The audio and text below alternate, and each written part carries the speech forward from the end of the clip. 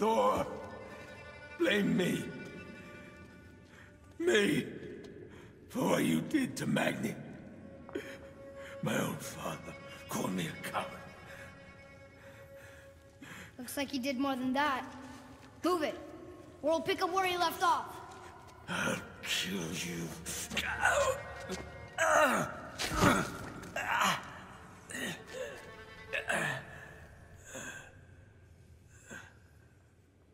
No. He is beaten. Not worth killing. He should pay for what he said about Mother. I said no. But we're gods. We can do whatever we want. That's what I said to your mother. Right before I gave it to her.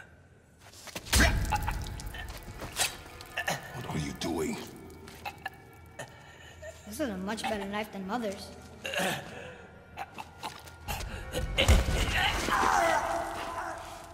You killed against my wishes. You lost control. Haven't you been teaching me to kill? I've been teaching you to survive. We are gods, boy. And that makes us a target. From now until the end of days, you are marked. So I teach you to kill, yes but in defense of yourself. Never as an indulgence. Nobody cared about him anyways. What's the difference? There are consequences to killing a god! Why? How do you know? How do you know? Watch your tone, boy. Whatever.